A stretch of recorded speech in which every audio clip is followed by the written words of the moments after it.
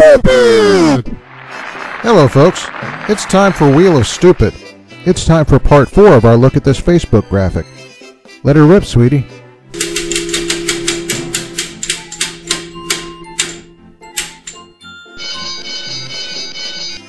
It's Jesus casting out the money changers.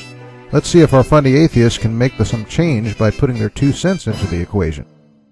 Fundy atheist, why should this event have been reported by other historians? Duh, uh, like the graphic says, man. That place is as big as 34 football fields.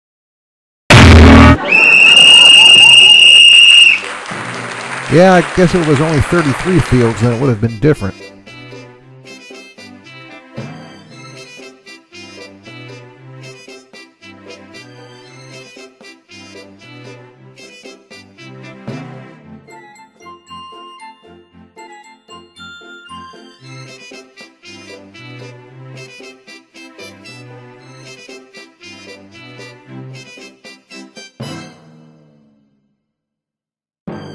So there you go again.